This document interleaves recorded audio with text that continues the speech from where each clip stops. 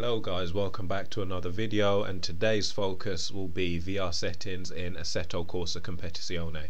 Now the VR headset that I'll be using will be the Meta Quest 2 or Oculus Quest 2, whichever you want to call it.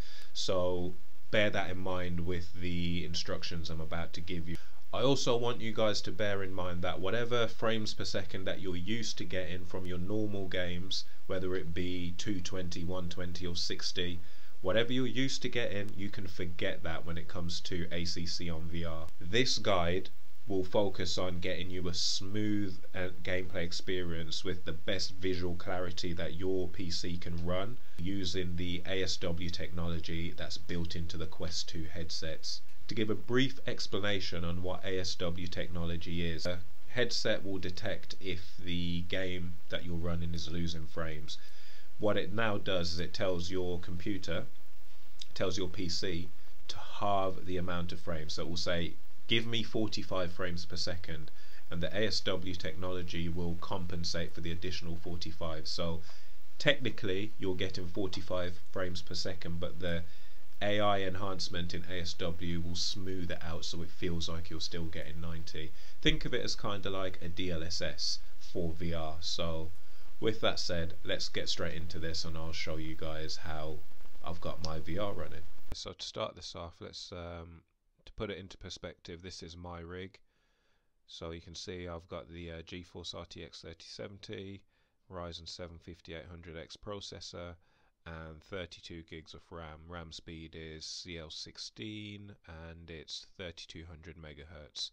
So if you have a higher spec PC than this, you could copy these as a base, my settings, and then raise it higher until you reach your limit. Or if you have a lower spec PC, vice versa. So copy this these settings as a base and then lower it until you have smooth performance. Okay, so the first thing you want to do is go to the Oculus app, click devices, I already had it open here.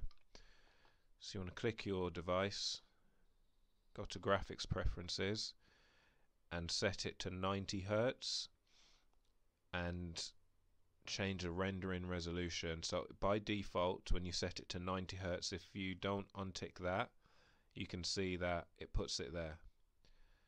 So if you untick that it allows you to move this slider. I believe I had it at that. So it's 4128 by 2096 so round about 4k that's what we're going for.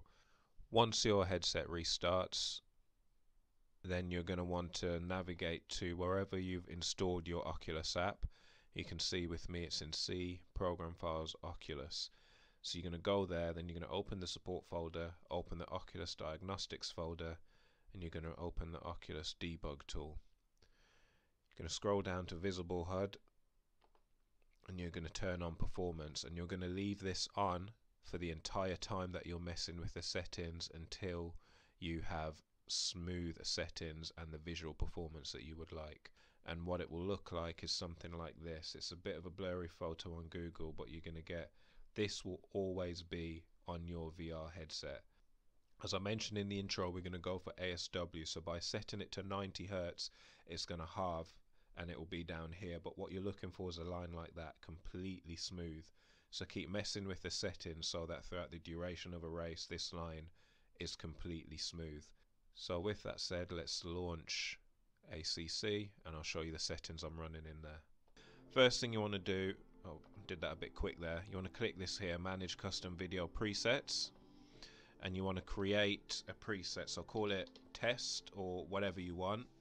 Um, I'm not going to save that because I've already done this. Uh, these are the three settings that I'm most likely to use. So what creating presets does is it allows you to if you change something that you don't like you can just quickly go back to a preset. So I'm going to load up this one here to show you guys what I'm running